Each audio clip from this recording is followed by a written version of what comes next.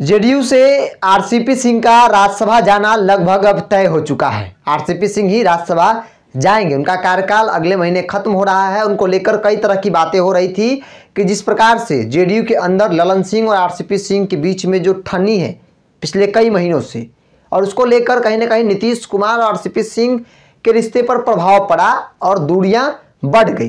नीतीश कुमार नाराज़ चल रहे थे। आरसीपी सिंह से। तमाम बातें कही जा रही थी, लेकिन इन सब के बीच कल देर रात जिस प्रकार से मुख्यमंत्री नीतीश कुमार ने दोनों नेताओं को बुलाया, घंटों बातचीत होती है।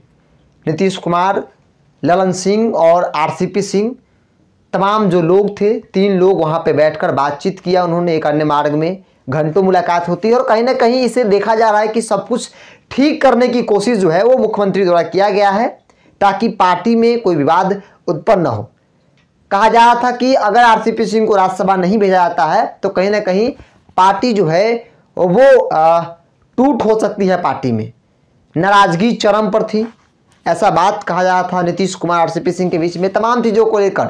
अब सब कुछ लेकिन स्पष्ट हो चुका है। जब नीतीश कुमार ने ललन सिंह और आरसीपी सिंह को एक साथ बैठाया, और बैठाने के बाद सब कुछ ठीक करने की कोशिश की है आरसीपी सिंह भी लगातार यह कहते रहे हैं कि राज्यसभा तो हम जा ही रहे हैं, इसमें कोई दो राय नहीं है। लेकिन पार्टी का कोई भी नेता आरसीपी सिंह के नाम पर कुछ कहने से कतरा रहा था।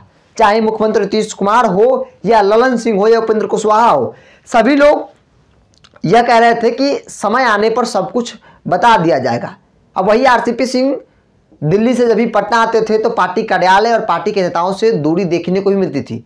सीधे अपने सरकारी आवास और वहाँ से वो अपने गृह ज़िले के लिए निकल जाते थे।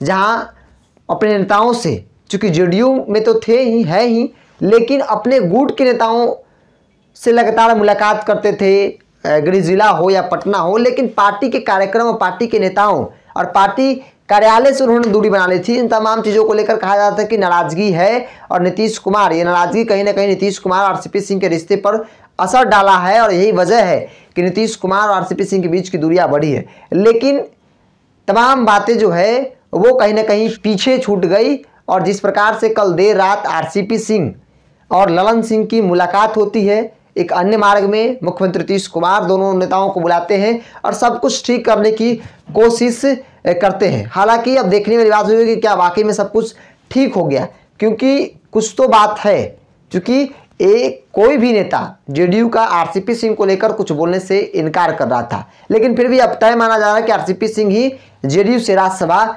जाएँगे। हालाँकि आरसीपी सिंह भी लगातार ये बात कहते रहे हैं कि हम जाएँगे, इकतीस से पहले वो नॉमिनेशन करेंगे और लगभग तय था। दिल्ली हो या पटना, तमाम जगह जब मीडिया से बातचीत कर रहे थे आरसीपी सिंह तो पूरे कॉन्फिडेंस के साथ बोलते थे कि हम राज्यसभा जा रहे हैं। लेकिन उनके अलावा पार्टी का दूसरा कोई नेता यह नहीं बोल रहा था कि आरसीपी सिंह राज्यसभा जाएँगे या नहीं जाएँगे। उनका कहना था कि समय आने पर बता दिया जाएगा। कल देर रात मुख्यमंत्री ने दोनों नेताओं को बुलाकर सब कुछ ठीक करने की कोशिश की, ऐसा माना जा रहा है और कहा जा रहा है कि आरसीपी सिंह राज्यसभा जाएँगे। तो इसको मिलता ही देख बिहार नमस्कार।